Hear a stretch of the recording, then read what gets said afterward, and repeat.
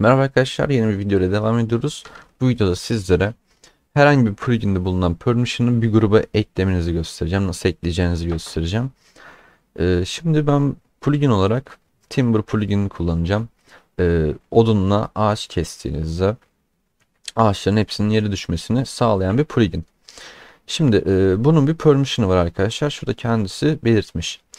Bazı oyuncular da bunu kapatmak için e, timber.disallow permission'ı kullanarak bunu kapatabilirsiniz diyor. Yani e, normalde bu plugin'i kurduğunuzda herkes odunu kırabilir fakat bunu eklediğinizde kimse kıramaz diyor. Onun için şimdi e, bir edit yapacağız. VIP'den parent'ı kaldıracağım. Şunu kaldıracağım. Kurucudan da VIP'yi kaldıracağım. Benim e, mantıken şöyle bir şey yapmam lazım. Ya mantıken şöyle bir şey yapacağım. Default'taki oyuncular odunu kırdığında hiçbir şey olmayacak. Normal odun kıracak. Fakat kişi VIP olduğunda herhangi bir odun kırarsa balta ile birlikte e, bütün odunların düşmesini sağlayacağız. Şimdi e, onun için şöyle bir şey yapmamız lazım. Burada ne diyordu? Eğer kişiye bunu eklersen bu kişi odunları kırdığında hiçbir şey değişmez. Yani bir farklılık olmaz. Normal kullanır. Bu yüzden default grubuna bunu ekledim. Ekledim. Ee, VIP hiçbir şey yapmamıza gerek yok. Sadece default ekledim. Yapmam gereken tek şey bu. Oyuna yeni başlayan kişi Timber pluginden yararlanamayacak. Fakat VIP olan kişi bu pluginden yararlanabilecek. Böyle bir mantık oluştu. Şimdi ilk önce kendimize default verelim. Tabi ondan önce Timber pluginini yüklememiz lazım. Ee, bütün sürümlerde çalışıyormuş zaten. Şunu bir indirelim. Sakladım.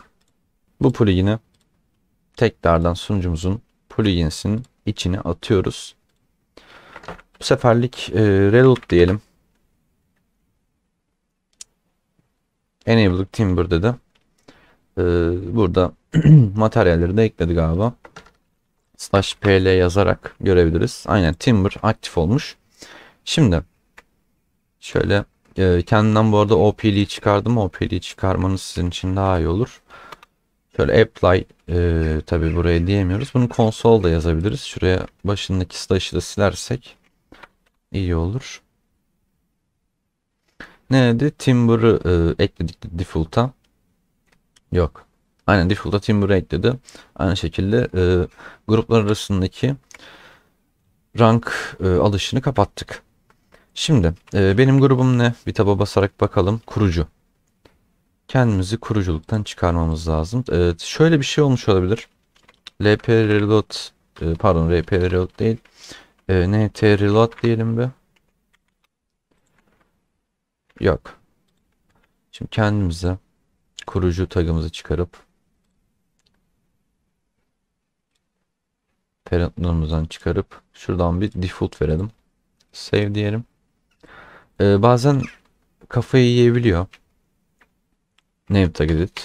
Onun için bir şey gösterecektim de. Göstermeme gerek yok gibi. Şunu bir apply edelim arkadaşlar. Tamam şimdi grubumuz oyuncu. Eğer ben baltayla bu ağacı kırarsam hiçbir değişiklik olmaz.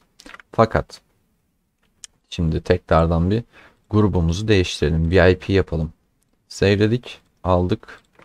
Yapıştırdık. Ee, Tabi konsola yapıştırıyoruz. Şuradan slash'ı da silip yapıştıralım. Şimdi ne olduk? VIP olduk. Eğer ben ağacı böyle kökünden kırarsam ne olması gerekiyordu? Ağacın tamamının gitmesi gerekiyordu. Bakalım sorun neymiş? VIP'nin parent'ı default'muş bakın. Bunu atlamışım. Bunu save'lememiz lazım. Şöyle bir save'leyelim. Şimdi ne oldu? Ee, neden bu hata yaşadık onu söyleyeyim. VIP'de demiştik ki hani default'un içindeki bütün permission'ları da VIP'ye aktar.